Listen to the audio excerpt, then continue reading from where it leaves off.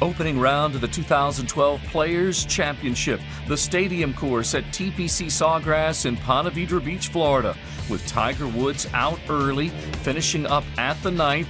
A struggle for Tiger much of the day. Trouble finding greens in this. He had to play his fourth to a back pin at the par 5 ninth. He would save par there, but a 74 in his opening round. How about Phil Mickelson, champion here in 2007? Driver off the tee at the first.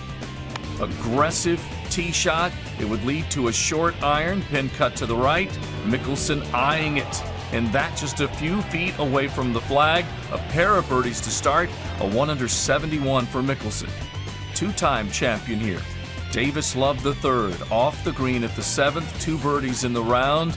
To this point, make it three. And Love, the Ryder Cup captain for the U.S., playing well in the first day, opening with a round of 72. Best of the day at the ninth, Jonathan Byrd. Left edge of the green after reaching from 259. This needs to travel over 80 feet to this back pin. And Jonathan Byrd with an eagle would be a solid day that would include five birdies as well. Adam Scott, champion here in 2004 for Eagle at 11. Scott with the long wand would have four birdies on the front, the Eagle and a birdie coming in.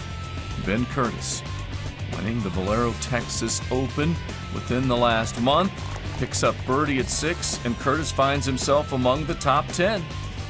Martin Laird out in the afternoon, starting on the back nine first, finishing on the front side. Birdie at the second.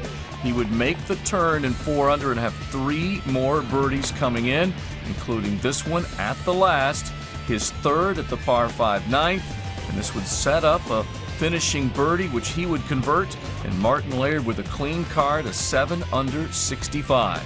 He would match Ian Poulter. Poulter out in the morning.